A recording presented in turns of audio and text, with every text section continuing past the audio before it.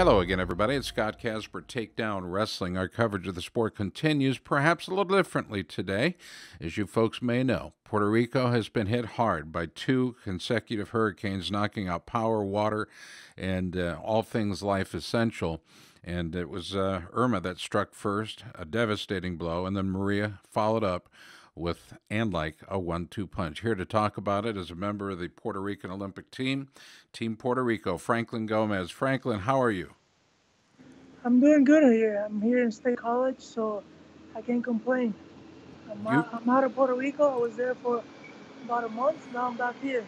And you literally were there during the hurricanes, and uh, I can't even imagine what that was like.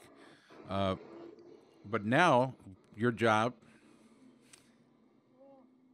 Hang on, hang It's uh, how can I explain this? It's it's been it's not the same thing when you talk about it than experiencing that. And I was just there uh, cutting trees, uh, unclogging uh, sewers, and uh, it was really rough. A lot of people don't have power still. No, they don't have water. Uh, they don't have a phone signal.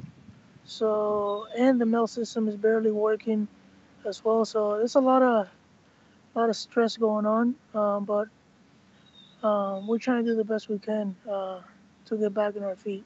A lot of your fellow country people down in Puerto Rico need help and desperately, very urgent needs in the, as, as disaster relief from Washington uh, could be a lot better, by the way.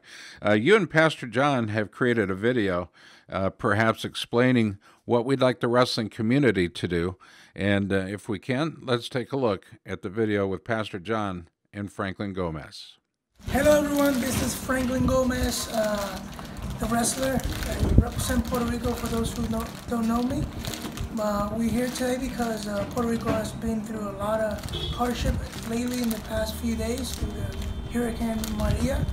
And I'm here with uh, a good friend of mine, Pastor John, and we are partnering together to bring food, to bring uh, hope to the people around here. He's going to tell you more about uh, what are we doing here in our partnership. Thank you, Franklin. Basically, everybody's asking how can you help?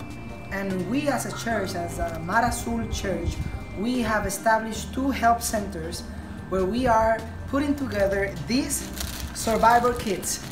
This is a small bag containing one water, bread, a pound of rice, and other other articles of first need. Um, our purpose is to give this to communities and people in steep need and crisis. We have done already 2,000 survivor kits. We have two centers and a warehouse available for storage of aid. We are partnering partnering with uh, other organi- organizations to find that aid and to store it and to distribute it. We have people. We are eager to help and we are trustworthy church.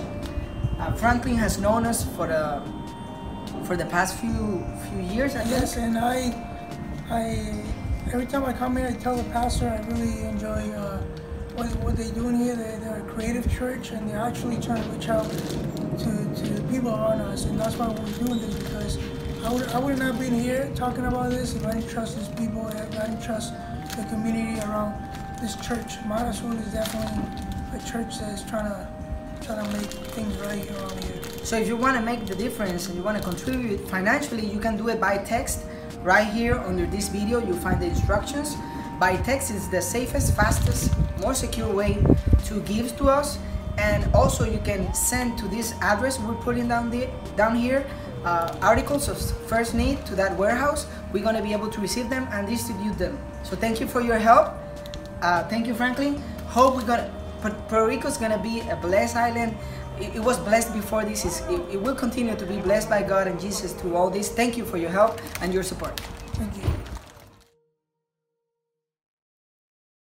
All right, welcome back, uh, Franklin. First of all, thank you very much for making that uh, that video. It's very uh, informative, and we do want the wrestling community to uh, send what they can, do what they can to to aid the good folks in Puerto Rico, one of the uh, one of the de- devastated areas by both Irma and Maria.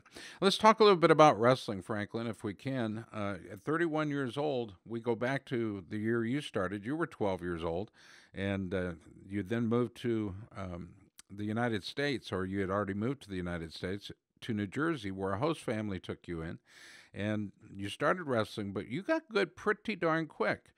Uh, you you were a basketball player before that, and and baseball, if I recall.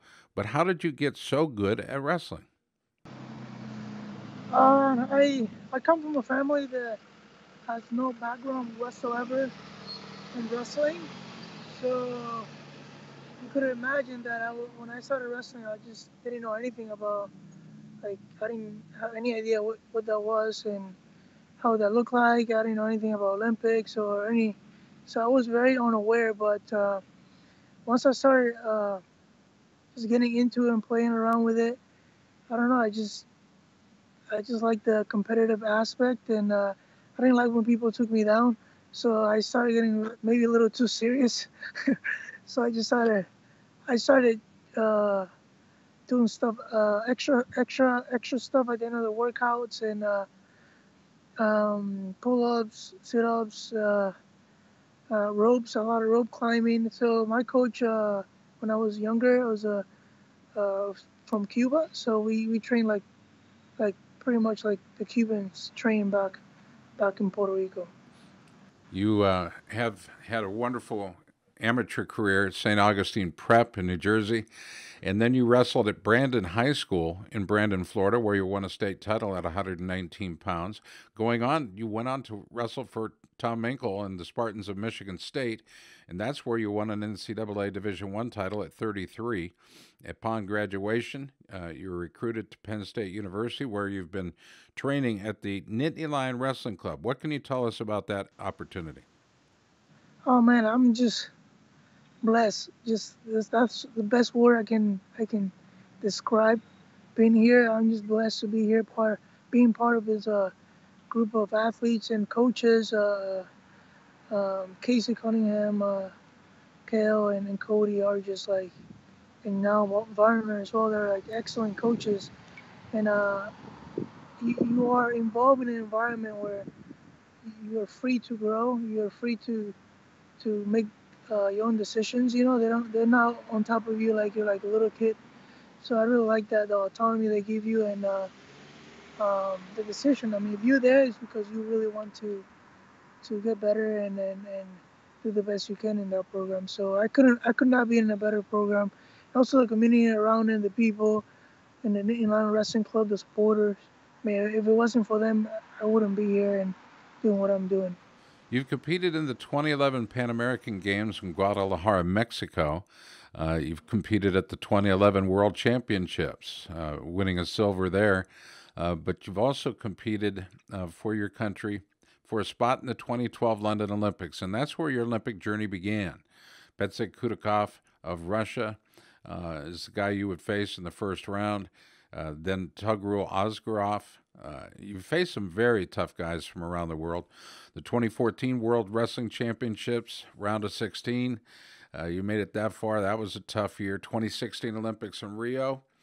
There was some um, controversial calls there. As a matter of fact, many many folks, including Jake Varner, Cael Sanderson, uh, Ben Askren, uh, the former governor of Puerto Rico, and the current governor of Puerto Rico, all went on to Twitter talking about the theft to the sport.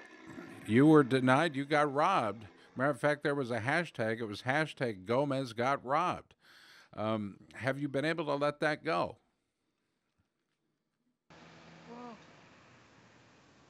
Um, I, I, it was, it was really rough, man. It was, it was really rough being there in that position, and after all the training you do, you, you just, I just thank, I thank God in my faith.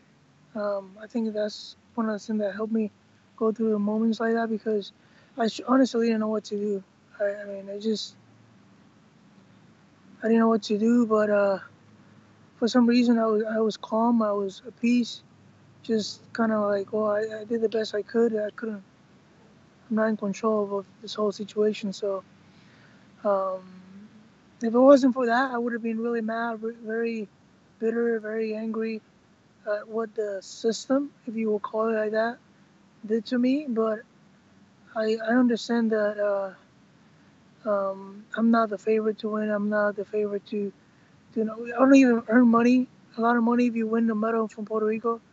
So I'm not doing this. Uh, I'm doing this. I'm doing this because I really love uh, wrestling, and I'm just trying to be the best wrestler, best wrestler I can be. After so the match, moment, after after the match, there were several who uh, were calling for an investigation. In fact, the three uh, officials that were involved in the match were summarily sum, uh, suspended by United World Wrestling because of so-called uh, suspicious officiating. They also claimed an investigation would be done, but the decision would not be overturned, which I don't understand. Um, so, and, and by the way, they were officially expelled from UWW in the uh, the weeks following as well with, uh, without offering any reason for the expulsion. So it, it, bothers me that you were not given any kind of uh, a public hearing on this, and I'm just hoping that next uh, next opportunity for you uh, that you'll receive will go better. What what is coming up next for you? Um, I'm hoping to compete in, the, in December in, in Iran. Um, there's some uh, invitational I think it's like a team team tournaments or club tournaments or something like that. And I think I'm trying to one of the U.S. teams here is trying to get me in there. So hopefully I'll be there competing. Uh, the the right now I'm just happy that I'm I'm healthy. You know, it's it's been a while since since uh, even the past few years. There's always been some ache or something, you know, and then in wrestling you're always gonna have something you grind through that. So I'm just happy that I'm able to train hard now and, and and stay try to stay a little more focused and and uh, just the few more years that I have of wrestling, just try to do the best I can. We're talking to Franklin with Franklin Green, 31 year old training at the Nittany Lion Wrestling Club. If you recall, he was Athlete of the Year at Michigan State the same year he won his Division One crown and uh, rightfully so. He is a three-time gold medalist, by the way, Pan American Games, Grand Prix of Germany, and the uh, 2014 Central American and Caribbean Games in Veracruz, Mexico. Franklin, again, we want to uh, implore, we want to ask, we want to beg, as it were, uh, all wrestling fans out there watching this interview to take part in your effort in the effort of your church, Pastor John, etc. People that uh, want to help can do so. Again, we'll put the address on the screen so people can. Uh, um, that you can make a text uh, uh a text donation yeah. as well. Yeah, you could. You could. I mean, this the thing is because the mail system is not working over there, so it's kind of hard to send stuff there. Like I, I would love to send water and things like that from here, but it's not working properly. So and and so far what we've been doing even with the people within puerto rico and other friends here is through that number you you text you put puerto rico help and the amount and then i'll send you a link and then you kind of you register your your debit card and then you and then it goes through it's kind of like paypal but through a system of the church so that's how, how we've been doing it and uh, it's been working so it's been working well so far so thank you for anyone who wants to partner with us and uh, help a little bit with that. You can text PR Help to 787 416 0776. Again, text PR Help to 787 416 0776 and get behind the effort of one of our favorites, Franklin Gomez. Franklin, it's always good to talk to you. I'm, I'm uh, looking forward to seeing the next uh, competition for you, and I do hope it is Iran because they, uh, they love wrestling so much over there, and it would be great to see you back on the world stage. Well, thank you for having me in your show, and uh, yeah, it's been a while, but hopefully I'll come back again some other time. He is one of the greats. Franklin Gomez. I'm Scott Casber. He's been our very special guest in our Nike Hot Seat.